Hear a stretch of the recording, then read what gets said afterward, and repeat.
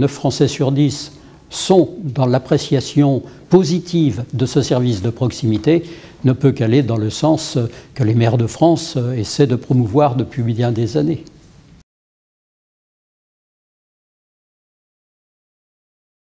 C'est un vœu que, bien entendu, partagent les maires de France.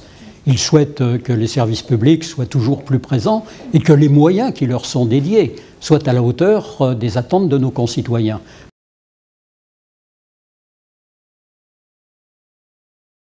C'est de s'adapter en permanence au changement. Mais ils ont su le faire euh, toutes les décennies écoulées.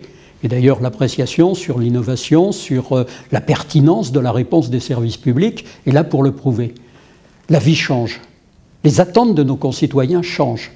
Et si les élus locaux en lien avec leurs personnels territoriaux ne sont pas en capacité de s'adapter, ne sont pas en capacité de répondre à ces attentes, alors nous risquons une crise démocratique.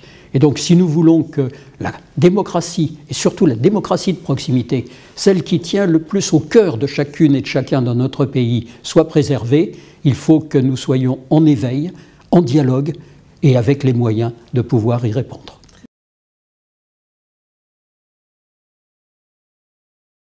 Mais l'innovation, ce n'est pas une priorité, c'est une nécessité.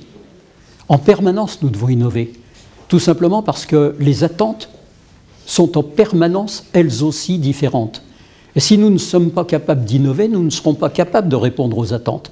Nous ne serons pas capables de répondre à l'évolution de la société elle-même. On parle du numérique, mais il n'y a pas que dans le numérique que la société est en profond bouleversement. Et le rôle des élus locaux et de leurs équipes techniques sur le terrain, c'est de répondre à ces bouleversements, parfois même d'essayer de les anticiper.